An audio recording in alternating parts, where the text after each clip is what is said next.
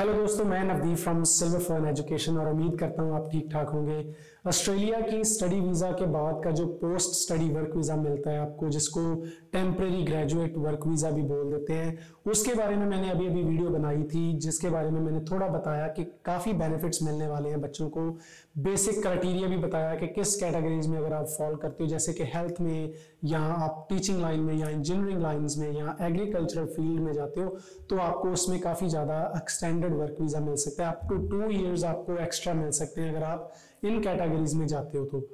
तो इसमें बेसिकली उसकी रिक्वायरमेंट यही थी कि अगर आप इस कैटेगरीज में जाते हो तो आपको एक्स्ट्रा वर्क वीज़ा मिलेगा, क्योंकि ऑस्ट्रेल क्योंकि ऑस्ट्रेलियन गवर्नमेंट ने उन कैटेगरीज को रिफाइन किया है जिनमें ज़्यादा स्ट्रगल कर रही है गवर्नमेंट जिनमें ज़्यादा होल कंट्री स्ट्रगल कर रही है इन कैटेगरीज को फिल करने के लिए। तो ऑब्वियसली हेल्थ टीचिंग इंजीनियरिंग और आपका एग्रीकल्चरल फ़ील्ड है, उसमें सबसे ज़्यादा स्ट्रगल कर रही है ऑस्ट्रेलिया इनफ रिसोर्सेज ढूँढने में इनफ लेबर ढूँढने में। तो इसलिए कुछ बेनिफिट्स दिए हैं उन्होंने ताकि आप पाथवे फॉलो करके पीआर तक जल्दी पहुँच सको और शोर शॉर्ट पहुँच सको। तो इस वीडियो में हम वही चीज़ें बात करेंगे। थोड़ा सा टेक्निकल बातें करेंगे तो कोशिश करना अगर आपके पास पेन और पेंसिल है तो लिख लेना चीज़ें, क्योंकि आपको पता रहेगा, कल को आप किसी कंसल्टेंट के साथ जाके बैठोगे तो आपको आइडिया हो जाएगा कि अच्छा इस कंसल्टेंट को पता है कि क्या क्या बेनिफिट्स हैं ये स्पेसिफिक स्टडी लेके जाने के। तो पहले क्या था कि बच्चों के पास एक ऑप्शन होता था post study work visa two years का करने के बाद कि वो four eight two subclass में अपना जिसको एम्प्लॉयर असिस्टेड वीज़ा भी बोल देते हैं, जिसको जिसको स्पॉन्सर्ड एम्प्लॉयर असिस्टेड वीज़ा भी बोल देते हैं तो वो कैटेगरी में अगर आपको अप्लाई करना होता था तो आपको एक ऑक्यूपेशन लिस्ट में फॉल होना पड़ता था, जो कि बड़ी छोटी limited courses limited type of jobs से बनी हुई लिस्ट है फोर एट टू कैटेगरी में। तो क्योंकि मोस्ट ऑफ़ द बच्चे, क्योंकि लिस्ट छोटी होने की वजह से काफ़ी बच्चे उस लिस्ट में फॉल नहीं हो पाते थे तो उनको आगे जाके बड़ी मुश्किलों का सामना करना पड़ता था। ये बच्चे, आपने सुना होगा कि दोबारा दोबारा स्टडीज़ लेना शुरू कर देते थे ऑस्ट्रेलिया में। उसके रीजंस यही थे बैक एंड पे कि वो बच्चे फोर एट टू कैटेगरी में फॉल ही नहीं कर पाते थे। रीजन बीइंग उनके पास वो ऑक्यूपेशन लिस्ट वाली स्टडीज़ ही नहीं है, वो उस कैटेगरी में फॉल ही नहीं कर पा रहे। तो इसीलिए उन्होंने क्या किया कि सब क्लास फोर नाइन फोर बना दी। जिसमें उन्होंने एक रिस्ट्रिक्शन रख दी कि अगर आपके पास तीन साल का वर्क एक्सपीरियंस है तो आप directly four nine four subclass category जो है, उसमें वर्क वीज़ा अप्लाई कर सकते हो। वो भी इंप्लॉयर असिस्टेड वर्क वीज़ा है, लेकिन उसमें क्या क्या बेनिफिट है, आगे जाके बात करेंगे। फोर नाइन फोर कैटेगरी उन्होंने बना दी कि ठीक है जी, इसमें आप अप्लाई करो अगर आपके पास तीन साल का वर्क एक्सपीरियंस है। तो अगर आप बैचलर्स करके जा रहे हो यहाँ से सॉरी ऑस्ट्रेलिया में अगर आप बैचलर्स कर रहे हो तो आपको मान के चलो कि फोर इयर्स का वर्क वीज़ा मिल जाता है तो आप ऑटोमेटिकली तीन साल का वर्क एक्सपीरियंस गेन कर लोगे इनफ एक्सपीरियंस गेन कर लोगे ताकि आपको फोर नाइन फोर कैटेगरी में वीज़ा अप्लाई करने की अपॉर्चुनिटी मिल जाए।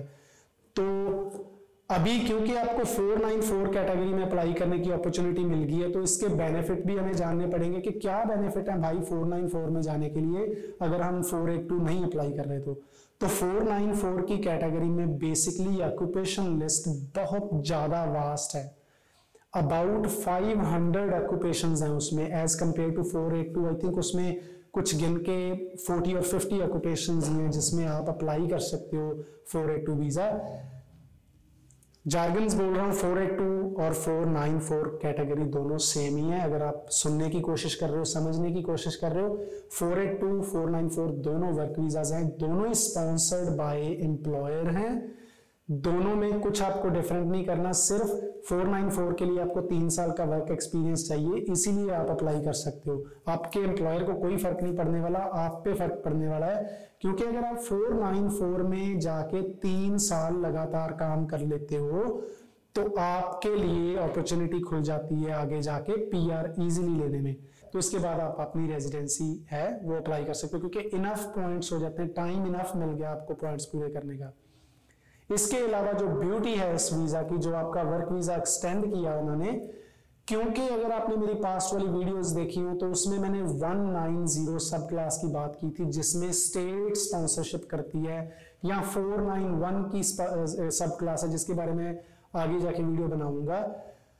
उस कैटेगरी में आप डायरेक्ट फॉल कर सकते हो, जिसमें फैमिली या रिलेटिव स्पॉन्सर कर सकता है 491 में। और 190 में जिसमें आपको स्टेट स्पॉन्सर कर सकती है। इन दोनों की शर्तें यही थी कि आपके पास तीन साल का एक्सपीरियंस चाहिए। तो हम क्या देखते हैं? मेजोरिटी में बच्चे यहाँ से प्लस टू करके वहाँ पे बैचलर्स के लिए चले जाते हैं।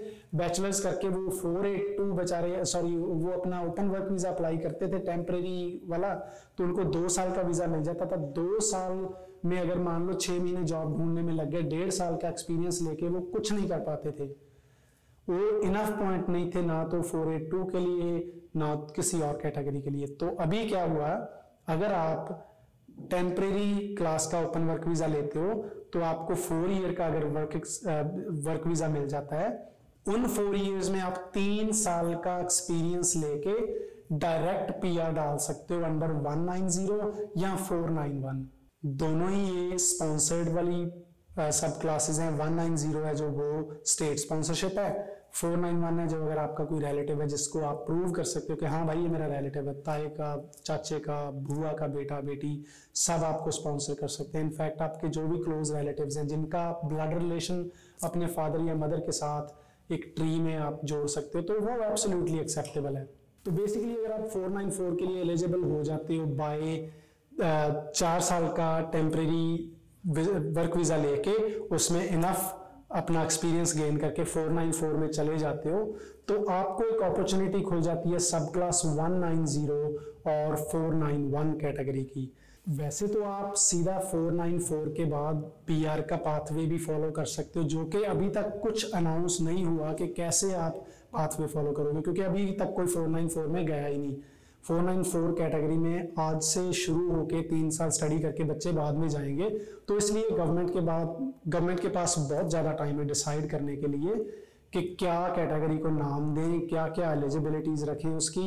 इसलिए आपको बेसिकली यही वरी करने की ज़रूरत है कि 494 कैटेगरी के बाद हम कैसे डायरेक्ट पीआर वाली 190 जो कि स्टेट स्पॉन्सर्ड है 491 जो कि फैमिली या रिलेटिव स्पॉन्सर्ड पोजीशंस हैं, उसमें जाके फॉल करके सीधी पीआर ले लें। तो पहले जैसे आपको 482 कैटेगरी का वीज़ा मिलता था, उसमें आप डायरेक्ट 190 में भी नहीं जा सकते थे, ना ही आप 491 में जा रहे थे। क्योंकि अगर आपको पता हो कि 190 और 491 की दोनों की रिक्वायरमेंट ये है कि आपके पास तीन साल का या तो न्यूजीलैंड या तो ऑस्ट्रेलिया का या इंडिया का एक्सपीरियंस होना चाहिए, अपनी होम कंट्री का, या फिर आपको ऑस्ट्रेलिया का एक्सपीरियंस होना चाहिए टू अप्लाई फॉर 190 या 491 का पीआर तो उम्मीद करता हूँ कि आपको ये इन्फॉर्मेशन डाइजेस्ट हो गई होगी, आपको कुछ चीज़ें समझ आई होंगी। अगर आपको कोई क्वेश्चन है इस चीज़ में लेके तो आप हमें कमेंट बॉक्स में ड्रॉप कर सकते हो, या आप डायरेक्टली हमें कॉल कर सकते हो रीच करने के लिए। Eight two eight four eight two nine double zero two पे आप हमें कॉल करके क्वेश्चन पूछ सकते हो इस कैटेगरीज के बारे में। या अपना प्रोसेस स्टार्ट करने के लिए, आपका स्टडी वीज़ा स्टार्ट करने के लिए, जुलाई या सेप्टेम्बर इनटेक में जाने के लिए हमें कॉल कर सकते हो। अगर आप चाहते हो कि आपका ऑस्ट्रेलिया का स्टडी वीज़ा एक होल पैकेज में हो, अगर आप सारा पैसा आफ्टर वीज़ा के स्पेंड करना चाहते हो तो हमें कांटेक्ट करना ना भूलें। एज सुन एज पॉसिबल अपना जुलाई या सितंबर इनटेक स्टार्ट करवा सकते हो। अगर आप सर्विसेज़ हमारे साथ नहीं भी करना चाहते, आपको कोई इन्फॉर्मेशन की ज़रूरत है, या आप अभी श्योर नहीं हो कि हम आपके पास से अप्लाई करेंगे कि नहीं तो आपको मैं ज़रूर रिकमेंड करूँगा कि एक बार हमें कॉल करके, एक बार हमारी सर्विसेज़ के बारे में ज़रूर पूछिए, ताकि आपको पता चले कि कैसी बेस्ट सर्विसेज़ आपको मिलेगी। क्योंकि हम एक बैक लेते हैं, मारा टीम से बैक लेते हैं कि हमारी टीम में मारा टीम मेंबर्स हैं, जो कि ऑस्ट्रेलिया के लॉयर्स हैं ऑस्ट्रेलिया के गवर्नमेंट लॉयर्स हैं, जो कि इमिग्रेशन के लॉयर्स हैं। तो इसके साथ आपको एक श्योरिटी मिलती है कि आपकी फाइल्स जो हैं सेफ़ हैंड में हैं। उम्मीद करता हूँ आपको वीडियो में काफ़ी कुछ मिला होगा सीखने के लिए। मिलते हैं ऐसी सी एक और इन्फॉर्मेटिव वीडियो में। तब तक के लिए बेस्ट ऑफ़ लक